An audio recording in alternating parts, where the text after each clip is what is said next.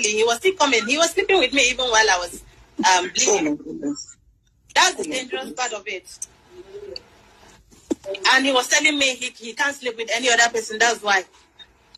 And that because it's me, you know, he's okay with it. I I am just I am not. I, I, I it, the whole thing caught me unaware, and I was naive. I did not really, and I wasn't a spiritual person. I didn't know if it was love. I didn't know what it was.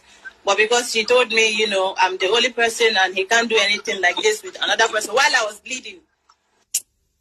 And that this was this was how, how far after it started? Was it a month after, two months after, or when you just you know you know, even started... at that time, even at that time, when I'm on my regular period, he does that. Wow. You understand? So there is nothing up for him.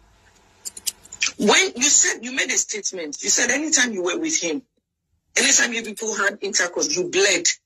Every time you were. Um, didn't that raise any red flag? Did you ask him any questions? That's, what, what did you That's when we started going out. I was dreaming of him sleeping with me. Oh my. So sometimes I would I was, I don't know, I noticed a shadow. It would be like, you know, I just saw someone. You know, even in Asaba, when I went to shoot, um, Mr. Titi can hear me with it. I couldn't act.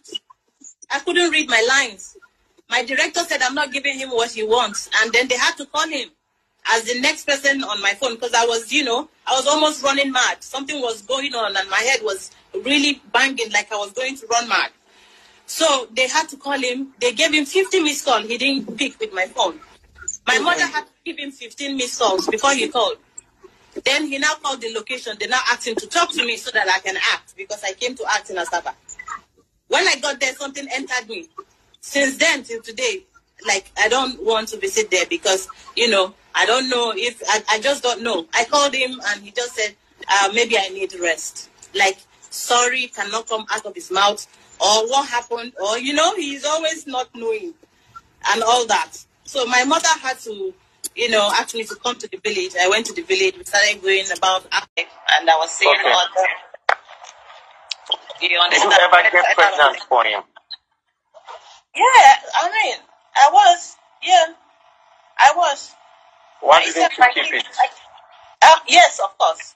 Oh my God, when when I lost it, he was crying. You would think that thing was real. He was crying, he was shedding tears. That I lost his child. It's crazy. So, how many times did you get pregnant for him? Three times. The last one left me bleeding. I have to take tablet to stop it if I want it to stop. When did you stop? How long did you bleed? For five years. I actually just came out of a, a long hiatus. I've been in, in um, you know, in my own spiritual battle. So I just came back. The blood just stopped rushing. You won't believe it.